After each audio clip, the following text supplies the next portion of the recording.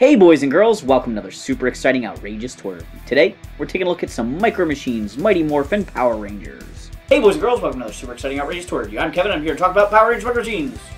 Just kidding, I'm not going to do the Micro Machine Man voice the whole time. Today, we're taking a look at the Power Rangers number one Red Ranger set.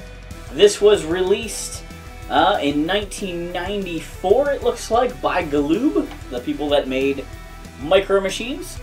Um, my friend Ryan picked these up for me at a convention one time. I actually have all five of the main Ranger sets. I'm going to take a look at them. I've actually reviewed some of the loose Micro Machine pieces in the past.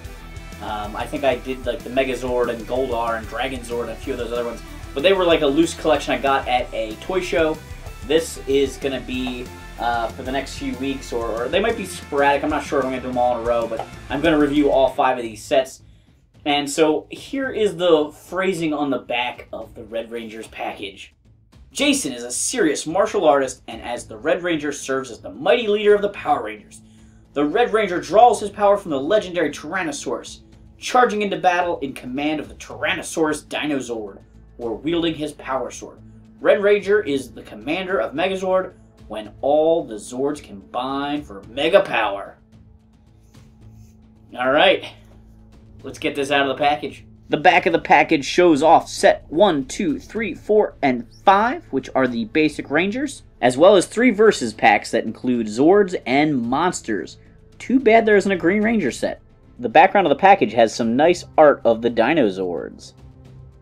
Here's the Red Ranger set out of the package. We've got the Red Ranger on his motorcycle. We've got the Red Ranger. We've got Jason before he morphs. And we've got the T-Rex Zord. We're going to take a look at each one of these one at a time. We're going to start by taking a look at Jason. It's interesting that he wears a white shirt with just some red details on it, which is pretty poorly painted, I might mention. He probably wore this outfit in the show, but I don't specifically remember a white shirt with just a little bit of red on it. It seems funny that he's not wearing a re- all red shirt.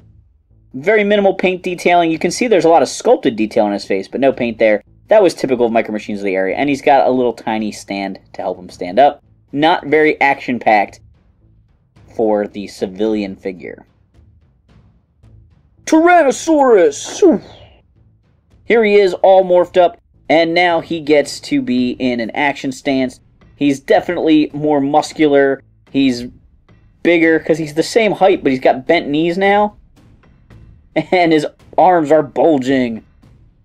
I love how he has the power coin on his chest, which was like a thing that Saban insisted on in the 90s that I never understood. He's got his little holster there for the blade blaster. You can see there's a little paint detail for his morpher. It's really pretty decent. You know, he doesn't have the diamonds on his boots or his gloves or anything like that. But the paint app work on the Ranger is so much better than the paint app work on Jason. I mean, even the visor has black and silver on it. Tyrannosaurus! Yeah, yeah, yeah! Here we have the Red Ranger's motorcycle, and you can see there's a little figurine of the Red Ranger riding it. Has pretty good paintwork that matches up with the loose figure pretty well. They made such a big deal about these bikes in the 90s, but they really didn't use them in the show. They were a huge part of Zyuranger, the Japanese counterpart. The characters rode them in almost every episode and, and in the closing segment. But they just kind of brought the toys over here to the American version, and that was about it. They're, they're sort of seen in the background of one episode, but they just had the Rangers teleport in the American show. And, uh, but they sold these toys. Lots of motorcycles. And, uh, it's got a sidecar gun piece here, which is kind of cool. It's got a big Gatling gun, laser type thing on the front. And he, I'm actually pretty amazed that he's ducking down behind the windshield on this because in the show, I think he kind of just sat up to ride it. But they, they never rode them in battle really either. So this is maybe more hunkered down for you to simulate action sequences. It does have three rolling wheels. Sorry, I dropped it, and it's pretty nicely detailed. Last up, we've got the T-Rex Zord. This is a little bit goofy proportioned. The, the legs are at a really odd angle, so it sort of leans forward pretty far. There's no posability. The tail, the legs, the arms, nothing moves. It does have an action feature if you press down on the head. The mouth opens so it can roar.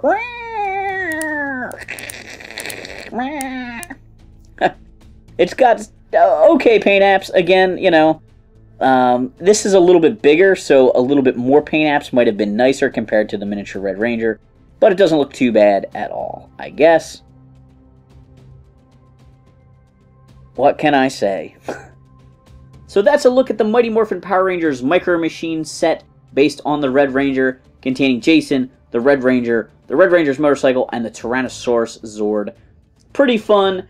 I remember seeing these in the stores in the 90s and kind of being interested in getting them, but also knowing that they weren't really in scale with other micro machines. The the Ranger and the Civilian are actually bigger than the little army guys that I had that came with some army micro machines, and the motorcycle is bigger than a normal micro machine motorcycle. So these guys are kind of in their own scale, and I think that was one of the things that held me back from getting them as a kid. Also, I just didn't buy a lot of Power Ranger toys because I was just on that cusp of like kind of too old. I loved the show, but it wasn't really cool to have Power Ranger toys. So, if you're at that age, if you're getting close to to the end of elementary school or you're in middle school and somebody tells you toys aren't cool, don't listen to them. Have fun with your toys.